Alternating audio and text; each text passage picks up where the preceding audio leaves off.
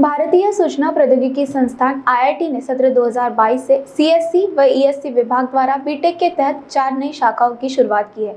इनमें artificial intelligence और machine learning data science व मानवीय संगणक संवाद गेमिंग व इंटरनेट ऑफ़ थिंग्स का समावेश है।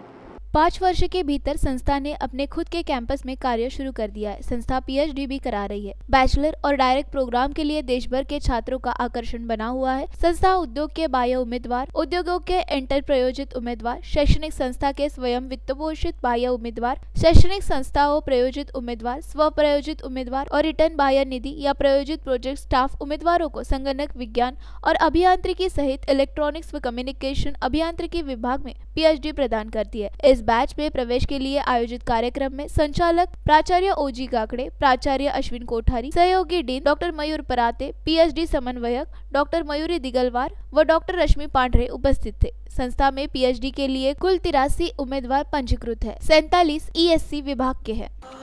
बॉस ने मीटिंग बुलाई। बाहर बाहर उठो बैठो। तकलीफ़ उठने बैठने की नहीं तकलीफ़ बवासीर की है। बवासीर फिशर भगंदर पाइलोनियल साइंस का आयुर्वेद तथा आधुनिक लेजर से उपचार कॉल और विज़िट करें www.pilesfistulacure.com